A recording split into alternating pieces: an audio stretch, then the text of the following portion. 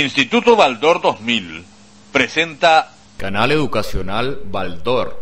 Clase número 6 de álgebra. Potencias. Objetivos. Conocer y aplicar las propiedades de las potencias en álgebra. Repaso clases anteriores. Términos semejantes son los que tienen la misma base y el mismo exponente. No interesa el coeficiente. Para sumar o restar en álgebra, solo se suman o restan términos semejantes, o sea, los que tienen la misma base y el mismo exponente. No interesa el coeficiente.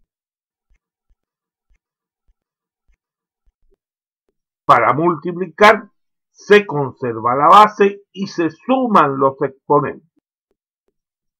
Observe, no se puede sumar porque no son semejantes. El resultado es a elevado a x cuadrado más x3. División. Se conserva la base y se restan los exponentes. Conservamos la base a y restamos x cuadrado menos paréntesis x cubo más 1.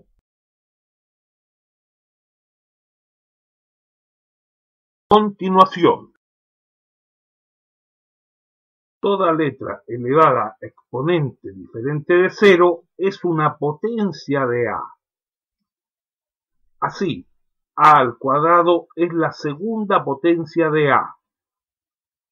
Las reglas de potencias algebraicas. En primer lugar, si hay signo delante la potencia, debe observarse el exponente el resultado depende si este es par o impar. Ejemplo, hay signo en la potencia, hay que observar el exponente. En este caso es par, el resultado es positivo.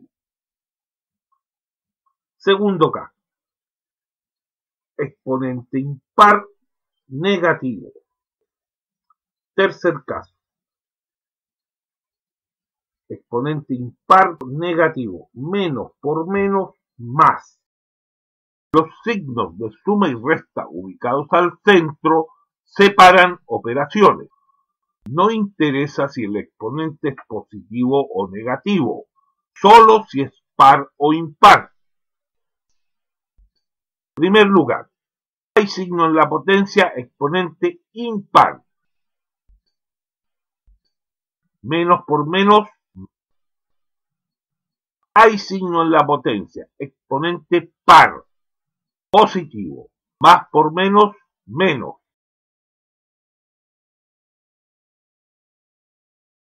Segunda ley, los exponentes exteriores multiplican a todos los exponentes interiores.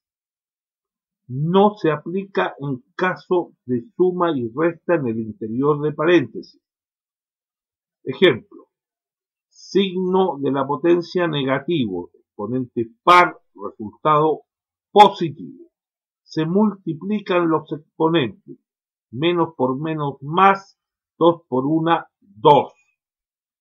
Segundo ejercicio, menos impar, resultado negativo. Los exponentes se multiplican, más 1 por menos 1, menos 1. Tercera ley de potencia.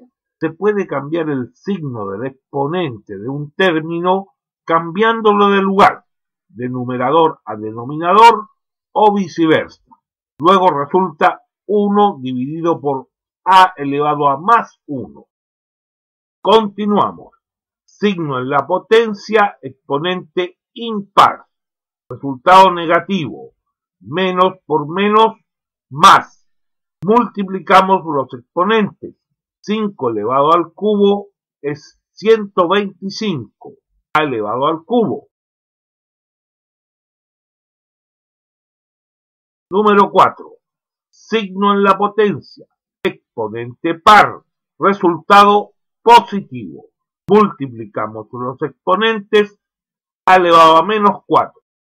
Signo en la potencia. Exponente par resultado positivo, más por más, más, 2 por 1, 2.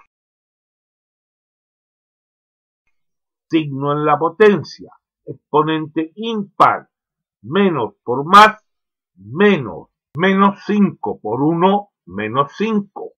Los exponentes negativos los colocamos positivos cambiando de lugar el término, como observamos en la pantalla.